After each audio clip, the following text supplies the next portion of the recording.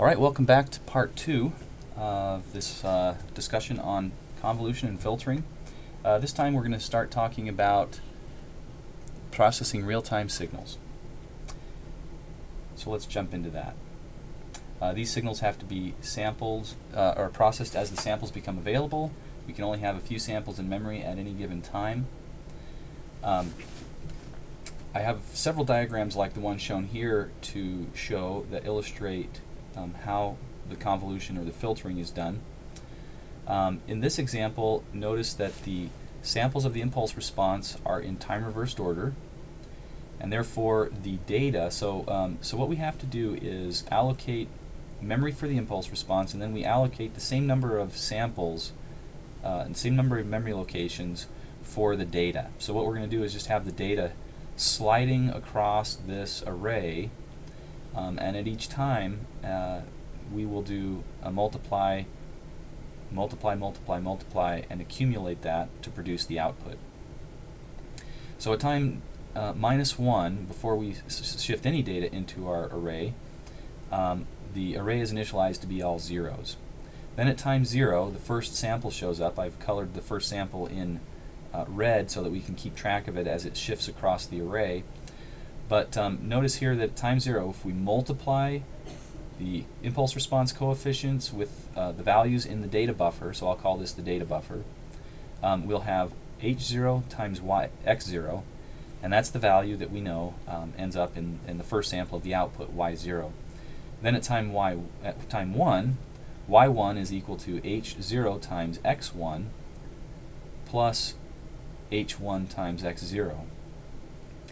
And so we see that the, um, the data is shifting into the array at the right and each time before we shift in a new sample we have to shift all the other samples in the array over one uh, to the left and then we can put the newest sample of it, uh, that has become available in at the far right.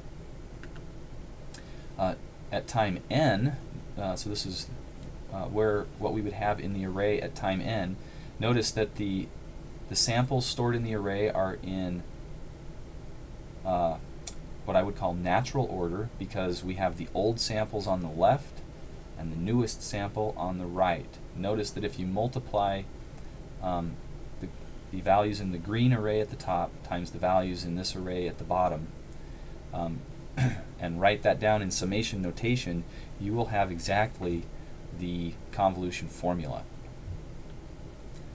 So this shows how the data moves through the arrays um, when we're doing convolution or filtering. Um, in this case, again, we had the impulse response in time reversed order and the data in natural order.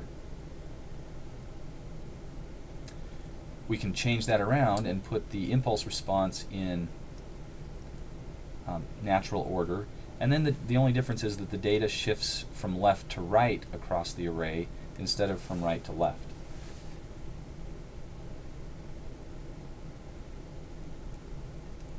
So I call, I call all of these techniques, um, I refer to them as using a shift buffer because the samples in the buffer have to shift um, every time we want to process a new incoming sample. And if you, if you think about that, if, if you have a very long filter, this could be um, an extensive amount of move operations going on just to keep the data shifting through the array. So this code shows um, how we would open a file and just read in a sample. Notice we're only, in all the fread statements in this code, we're only reading in one sample at a time and we're reading it into um, the, the zeroth element of the array which is statically allocated and so this so the data is as shown on this slide, we're reading the newest sample in at the left and all the other values get shifted to the right. Um, this little this little for loop right here um, shows how we would do a right shift. So you start at the end of the array and um, we would say that the value at the end of the array, array is equal to the value at the beginning of the array. Or, or I'm sorry, value at the end is equal to the value at the end minus 1. So we just do a an adjacent shift to the right, and then and then when we have completed all those all that shifting, all those moves, then we read a new sample into the zeroth element of the array using fread. So this doesn't do any convolution, but it does show how the data would move through the array.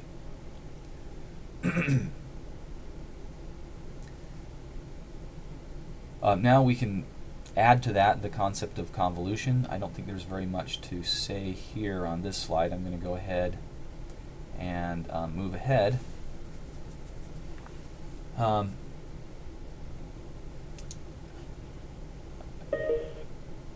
so here we have the impulse response in natural order, uh, and the data is also is in time reversed order because we have the newest sample on the left, and then the, the data gets older as we move to the right. But if we did a, multi uh, a multiply and accumulate here, we would be producing convolution. You can see the convolution formula here takes impulse response value hk, multiplies that by xn minus k, and you can see that those that alignment is provided in these arrays up above. And um, so if we think of the green as being the H array and the red as being the X array, uh, then we would just essentially do an inner product. Um, we'd multiply H0 times X0. The value in X0 is the most current sample of our input signal, and then the value in x1 is the um, a delayed by one sample version and so on. But, but anyway, this shows us how we could write that code because if you expand out this convolution sum, we see that we need all of these products and those products are available at these memory locations. So here's a code fragment showing how this might be done. um, we have a for loop um, that is doing the accumulation. So we initialize y to be 0, uh, and then we run our for loop, and we do a multiply accumulate with the plus equal operator. And then after we're done with that, we would shift our values over to get ready for reading in the next sample. So we write out the sample that was just accumulated, and we read in the next sample into the zero location. So we just continue to do this processing the input one sample at a time until we reach the end of the file and we close the files and we're done. Um, this is accomplishing the same thing, this code fragment, but we have combined the multiply accumulate and the shift into a single loop where we start at the end and work our way from the end back towards the beginning uh, we exit the loop before we get to the k equals 0 iteration. Uh, in that case, we don't want to shift anymore. We just want to do the last multiply accumulate operation, and then we write out the sample, read in the new sample.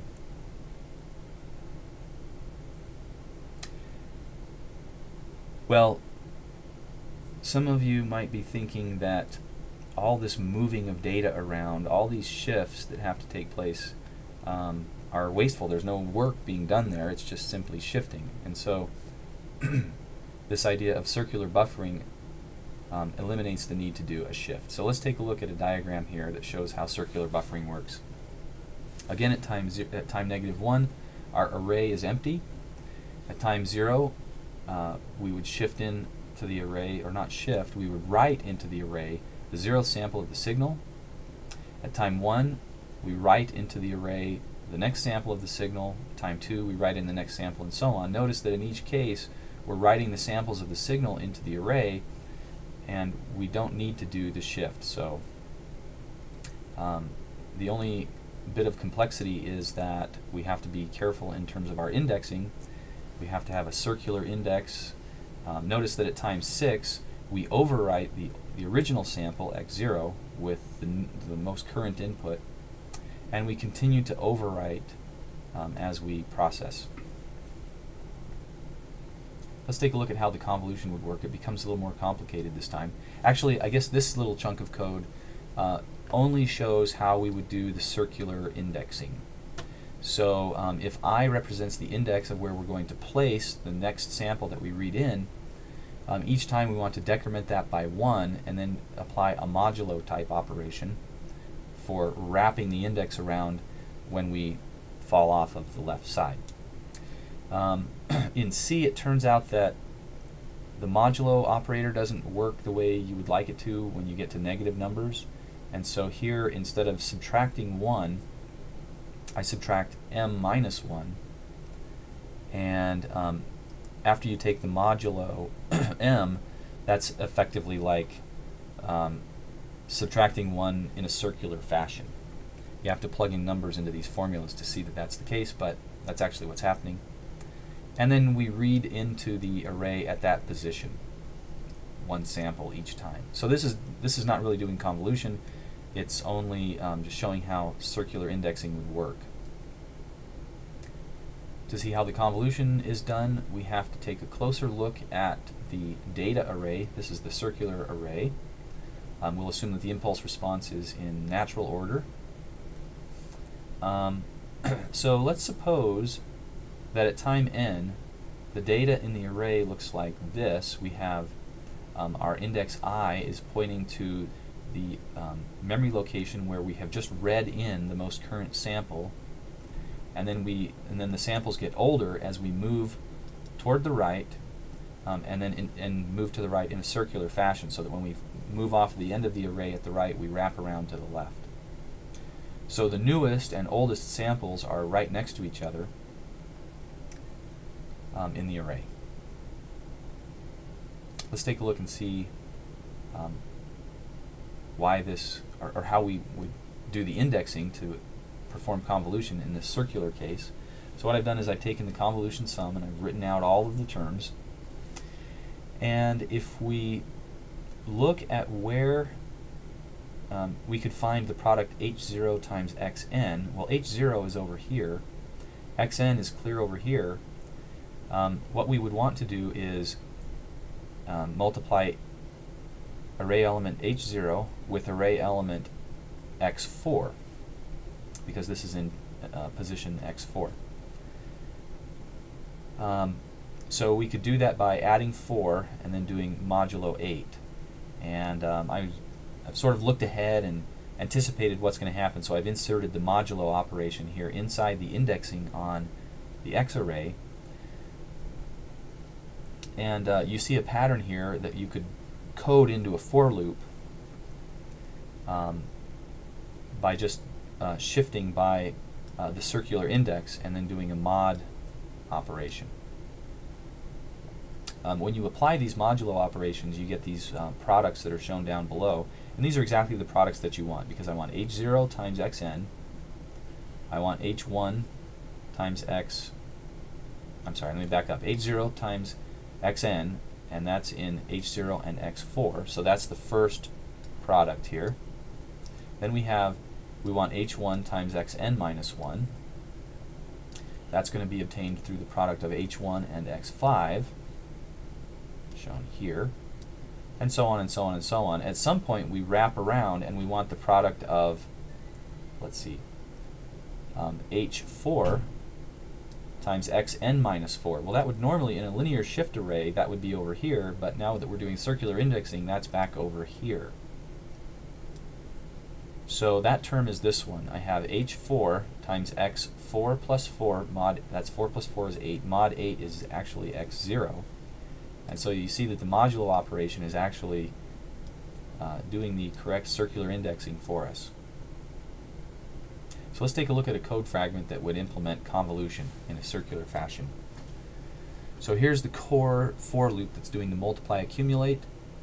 Um, so we have hk indexed in the normal way. We're indexing starting at 0 and going up to L minus 1. And then we take um, k, add i, that's the same that we did in the case for a, for a linear array. Um, but then we do modulo L. So this does the circular wrapping for us. And then we, um, I guess I need to, this there's a mistake here. This plus should be minus, uh, no, I'm sorry, this is right. Plus equal, what I want to do is subtract 1 in a circular fashion. And so that is done by adding L and then subtracting 1 and then doing a modulo L operation. All right, so that ends the uh, discussion on circular indexing. Um, let me take you to a C program that shows how this is done. Um, it's essentially the same code as before, but instead of allocating a, uh, large arrays for the data, we allocate an array that for the data that's the same size as the impulse response. So I'm calling my data array um, G. So H is my impulse response, G is holding the data. Um, I have, it looks like I'm doing buffered I.O. here, so I have uh, a statically allocated array for the input and a statically allocated array for the output. Here I'm doing a time reversal of the impulse response. I actually think that that's an error now that I look at that because I'm doing a time reversed circular indexing for my uh, data array and therefore the impulse response should be in natural order, not time reversed order. So I'll make that correction, but um, this code down here shows us what the for loop looks like. Um, the first thing I do to prime the to prime the loop is to read in a block of samples into an in, into a buffer. Um, while there are samples that have been read in, so while the length of that input buffer is greater than zero, I have samples to process. So I loop over every one of the input samples, that's this first for loop. For each input sample, I will insert the new value into my circular array at position k. T is my accumulator, which I initialize to zero. And here's where I do my um, multiply accumulate loop. Notice that my my, my G array is being indexed in a circular fashion. Once I'm done with the accumulation, I will put that value into the output array. And then uh, this code actually needs to be fixed, it looks like. This should be plus equal LH minus 1. So that does a circular, um, uh, the combination of these, oh actually I guess uh, it looks like it was fine the way it was because the next line adds LH and then does modulo LH. And again, that's just to handle the case where when we decrement from 0 to negative 1, modulo doesn't work correctly in that case. So um, anyway, this, this uh, should work. And I think I will end the recording now at this point.